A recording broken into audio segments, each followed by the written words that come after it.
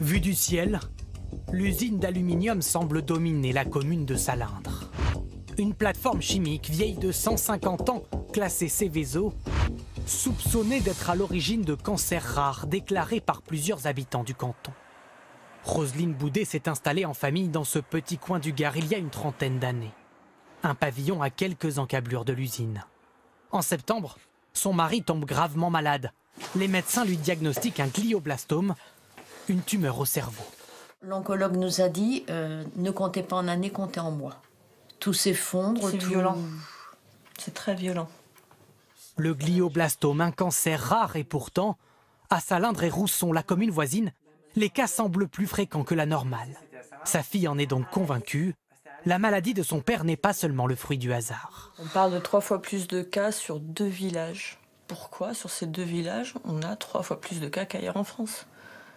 Et à quel moment vous découvrez qu'il y a peut-être une raison externe Moi, d'entrée dès le début, parce qu'en fait, le voisin qui habitait la maison juste à côté est décédé d'un glioblastome il y a 4 ans à peu près. Donc, quand papa est tombé malade, sachant que c'est une forme rare de cancer, tout de suite, je me suis dit, c'est pas possible, les deux maisons jumelées, que les deux personnes contractent cette maladie, c'est il y a, il y a quelque chose, on nous cache quelque chose. Maintenant, j'aimerais savoir quand même euh, pour que ça s'arrête, quoi. Pour C'est ça. trouver une solution qui. Nous, on sait à notre niveau que de toute façon, il n'y aura pas de retour en arrière. Mais éviter que d'autres gens le vivent.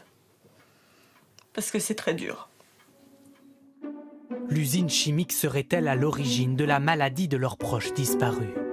C'est la question que se sont posés les experts de Santé publique France. Ils dénombrent 9 cas de glioblastome sur les deux communes en l'espace de 10 ans. Un nombre limité, certes, mais trois fois supérieur à la normale. Et eux aussi s'intéressent à l'usine de la ville. On peut identifier une activité sur la plateforme chimique de Salindre, mettant en jeu des rayonnements ionisants et pouvant donc constituer potentiellement un facteur de risque environnemental pour la survenue des glioblastomes.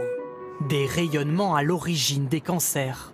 Pour tenter de vérifier cette hypothèse, les experts réaliseront une série de prélèvements sur site. Une bonne nouvelle pour Annie Charrer, qui dénonce depuis longtemps la pollution générée par la plateforme. Bon, notre fameuse usine est là, juste en face de nous, avec ses fumées. Il y a plus de 150 ans. Cette militante écologiste en est convaincue. La cause de ces cancers est à chercher dans les 11 millions de déchets chimiques accumulés sous l'usine depuis le 19e siècle.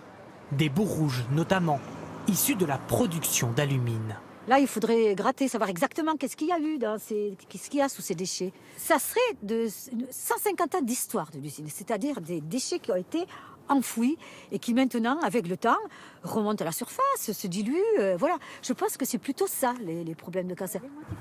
Parmi les neuf décès répertoriés, plusieurs ouvriers de l'usine. Une donnée qui interroge les enquêteurs. Mais pour les salariés que nous avons rencontrés, pas de quoi s'alarmer. Si ça vous inquiète, On a lu des choses dans les, effectivement dans les médias. ça vous inquiète Je peux pas vous en dire plus. Merci. Oh, j'en pense à rien, moi. Je, je pense que c'est un tissu social, c'est un travail, c'est une industrie. C'est plus Euh, important Moi, je pense que oui, c'est important le travail. Hein le travail, c'est la santé.